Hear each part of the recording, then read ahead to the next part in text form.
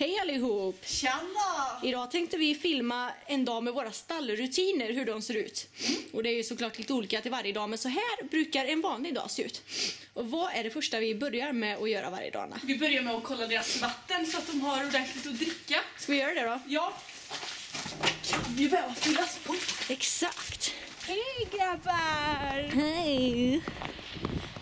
Och vi har ju så himla smidigt med vattnet att det går liksom under jorden.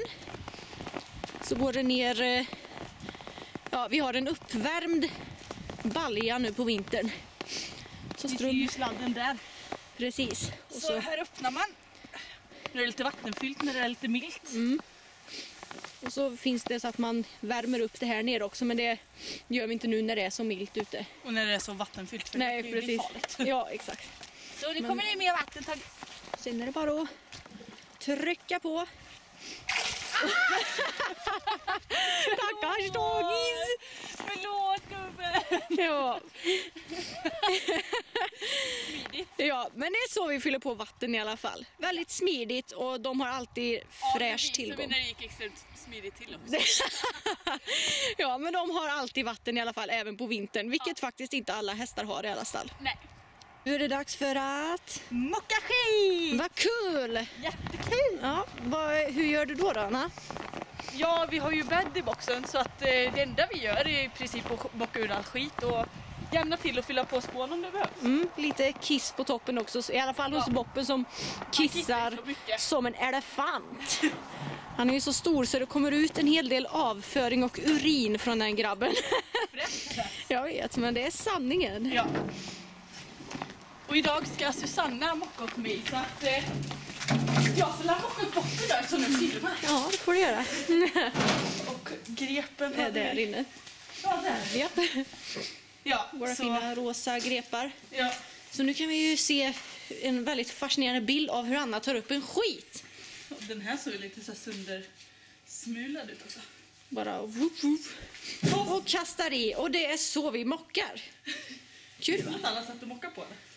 Ja, jag vet inte. Man Kanske. bara... Oj, jag träffade inte så bra där. Nej, men som vi gjorde första gången så mockar vi i alla fall. Ja. Och nu kommer Anna springandes! Hon har mockat klart, men vi behöver hämta spån.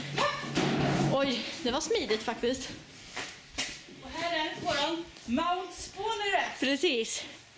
Och då tar hon bara hyvlar i spån i kärran. Och sen ska det tömmas i boxen. Så enkelt var det. Eller hur? Ja. Så här fin blev Boppens box nu när den är färdig mockad och spånad. Nu ska han få i hö i sin haybar. Och det kommer Anzi Panzi med nu. Det är väldigt smidigt med haybar för han behöver ju ganska mycket hö. Men samtidigt så sprider han inte ut det då. Och så ska Tage få resten här. Ja, utan det håller sig på plats. Nu äter de faktiskt inte så mycket på nätten efter de har fri tillgång ute. Så man... För att underhålla Kagge. Ja, precis. Man behöver inte ge dem så värst mycket hö.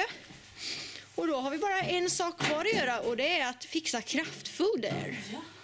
Och då är det dags för kraftfoder.